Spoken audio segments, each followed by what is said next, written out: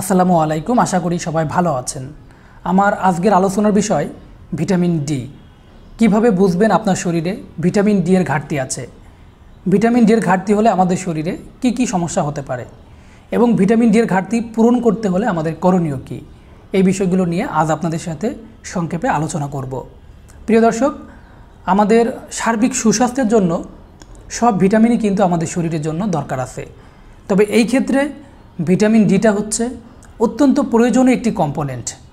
বলতে পারেন সমস্ত ভিটামিনের মধ্যে ক্যাপ্টেন হলো ভিটামিন ডি। বর্তমানে এখন প্রায় মানুষের শরীরেই ভিটামিন ডি এর ঘাটতি দেখা যায়। একটু বয়স হতে না হতেই অনেকেরই দেখা যায় হাঁটুতে ব্যথা, কোমরে ব্যথা, তারপর গিরাই গিরায় ব্যথা। তো ম্যাক্সিমাম ক্ষেত্রে দেখা যায় এটার কারণ হলো ভিটামিন ডি ডেফিসিয়েন্সি। তাই আমাদের শরীরের হাড় এবং মাংসপেশির জন্য ভিটামিন ডিটা হচ্ছে অপরিহার্য। তবে গবেষণায় দেখা গেছে যে শুধু হাড় নয়, আরও অনেক রোগের সঙ্গে ভিটামিন ডি এর সম্পর্ক রয়েছে। যেমন ভিটামিন ডি এর অভাবে প্রথমত ক্যালসিয়ামের ঘাটতি হয়, যার ফলে পেশিগুলো দুর্বল হয়ে যায়। তারপর ইনফেকশনের পরিমাণ বেড়ে যায়, কাটা বা ক্ষত সহজে শুকাতে চায় না। সুস্থ জীবনযাপন করা এবং পর্যাপ্ত পরিমাণে ঘুমানো পরও যদি আপনার ক্লান্ত অনুভব হয়, তাহলে বুঝতে হবে আপনার শরীরে ভিটামিন ডি ঘাটতি দেখা দিচ্ছে। ভিটামিন ডি এর ঘাটতি হলে সাধারণত অটোমেটিক্যালি বিষণ্ণতা এবং অবসাদ সৃষ্টি হতে পারে। অনেকেরই দেখবেন যে কোনো কারণ ছাড়াই অটোমেটিক্যালি চুল পড়ে যাচ্ছে। তো অতিরিক্ত পরিমাণে চুল পড়ে যাওয়া মানে বুঝতে হবে আপনার শরীরে যথেষ্ট পরিমাণে পুষ্টির বা ভিটামিনের অভাব আছে। তো ভিটামিন ডি এর অভাবে সাধারণত অতিরিক্ত চুল পড়ে যেতে পারে। এছাড়া ভিটামিন ডি এর অভাবে auto immune disease heart disease arthritis সহ অনেক সমস্যা দেখা দিতে পারে। আবার সেক্সুয়াল পারফরমেন্সের জন্য কিন্তু ভিটামিন ডি থ্রি অত্যন্ত কার্যকরী ভূমিকা রাখে। প্রিয় দর্শক, এছাড়া আরও অনেক সমস্যা রয়েছে যেগুলো ভিটামিন ডির অভাবে হতে পারে। তো যদি আপনার এই সমস্যাগুলো আমি যেগুলো বললাম দীর্ঘদিন ধরে হতে থাকে এবং যদি আপনি সন্দেহ পোষণ করেন যে আপনার শরীরে ভিটামিন ডি এর ঘাটতি আছে, তাহলে আপনি একজন চিকিৎসকের পরামর্শ অনুযায়ী অথবা আপনি নিজে যে কোনো ভালো ডায়াগনস্টিক সেন্টারে গিয়ে আপনার শরীরে ভিটামিন ডি ঠিক পরিমাণে আছে কিনা সেটা পরীক্ষা করে নিতে পারেন। সাধারণত রক্তের সিরামে ভিটামিন ডি এর মাত্রা পরিমাপ করা হয়। তো পরীক্ষা করার পর রিপোর্টে যদি দেখেন যে আপনার রক্তে ভিটামিন ডি এর মাত্রা তিরিশ থেকে একশো ন্যানোগ্রাম পার মিলিলিটারের মধ্যে আছে, তাহলে বুঝতে হবে আপনার শরীরে ভিটামিন ডি এর কোনো ঘাটতি নাই। আর যদি বিশ ন্যানোগ্রাম পার মিলিলিটারের নিচে থাকে, তাহলে এটাকে ভিটামিন ডি ডেফিসিয়েন্সি বলা হয়। অর্থাৎ আপনার শরীরে যথেষ্ট পরিমাণে ভিটামিন ডি এর ঘাটতি আছে।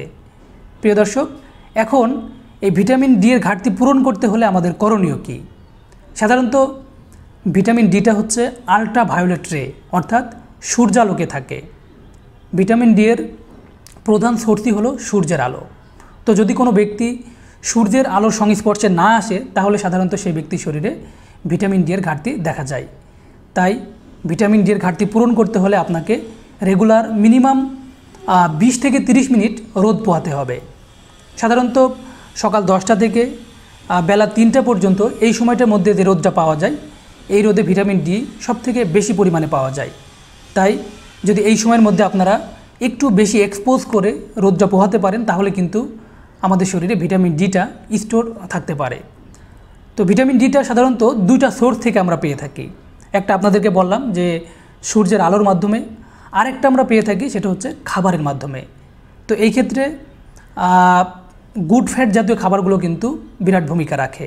যেমন extra virgin olive oil extra virgin coconut oil তারপর ঘাস খাওয়া গরুর দুধ থেকে তৈরি ঘি, মাখন, এগুলোতে পর্যাপ্ত পরিমাণে ভিটামিন ডি পাওয়া যায়। এছাড়া ডিমের কুসুম, তারপর সামুদ্রিক মাছের তেল, এগুলোতে কিন্তু পর্যাপ্ত পরিমাণে ভিটামিন ডি পাওয়া যায়। প্রিয় দর্শক, সাধারণত আমরা কিন্তু কোনো প্রকার ওষুধ ছাড়াই এই খাবারগুলোর মাধ্যমে এবং সূর্যের আলোর মাধ্যমে বা রোদের মাধ্যমে আমরা ভিটামিন ডি ডেফিসিয়েন্সি কাটিয়ে উঠতে পারি। তারপরেও যদি আপনার সমস্যা খুব বেশি থাকে, ঘাটতি খুব বেশি মনে হয়, তাহলে আপনারা চিকিৎসকের পরামর্শ অনুযায়ী সাপ্লিমেন্ট নিতে পারেন। ঘাটতি খুব বেশি হলে আপনারা vitamin D forty K unit সপ্তাহে একটি করে ছয় সপ্তাহ খেতে পারেন।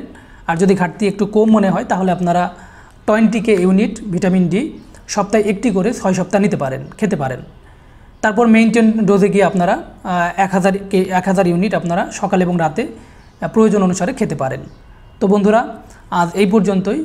যারা ভিডিওটি দেখলেন, আশা করি ভিডিওটি আপনাদের ভালো লেগেছে। তো যদি ভালো লেগে থাকে, তাহলে অবশ্যই ভিডিওটি শেয়ার করে বন্ধুদেরকে দেখার সুযোগ করে দিবেন। সকলে ভালো থাকুন, সুস্থ থাকুন, নিরাপদে থাকুন। আল্লাহ হাফেজ।